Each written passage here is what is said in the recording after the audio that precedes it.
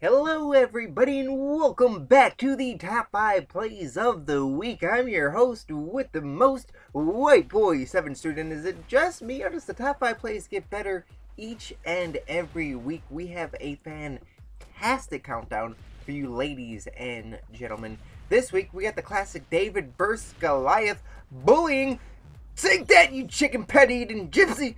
The Juggernaut gets owned by a riot shield. This next clip is going to be recorded on a toaster, but nevertheless, it is still beast. You can use this spot in your own domination on Village games. It is a really nice spawn trap. You see him picking up triple spray, his AC-130s, all kinds of kill streaks, going to work, switches weapons, picks up another one, and gets a triple spray to finish the clip, guys, really quick, I just want to thank you for making the top three fails and the top five plays such a success. Look at the kill feed really quick. Headshot. Headshot, headshot, headshot, quad, headshot. Oh, that, oh, that, there's nothing more pretty than the, the headshot kill feed. But guys, I just want to thank you guys for all the recent support lately. Triple sprays and quad sprays, and oh my god, what's this guy doing?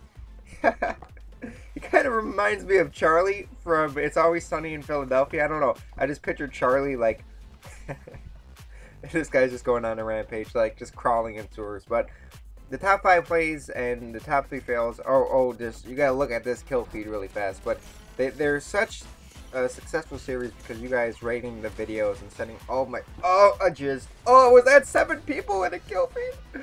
Oh my god, that's beautiful. But all the support you've been showing me and you guys sending in the plays.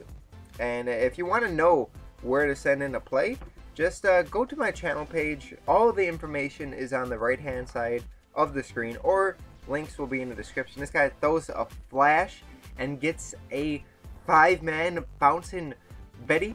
Thanks for watching this week's episode. I thought it was a fantastic set of plays and in case you missed the top three fails, it's going to be that video showing on the right hand side.